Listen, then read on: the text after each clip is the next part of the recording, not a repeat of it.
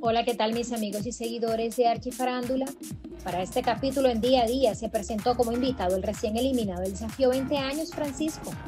La ex participante comentó que durante la prueba muerta en donde salió eliminado él se desconcentró mucho, ya que estaba pendiente, que solo había un cupo y este se lo ganó la última pareja, que si no estoy mal fue Natalia y Vi.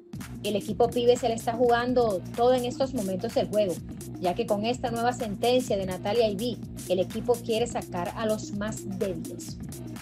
Francisco reveló que el equipo Tino está muy golpeado y que en este ciclo les va a tocar aguantar hambre nuevamente.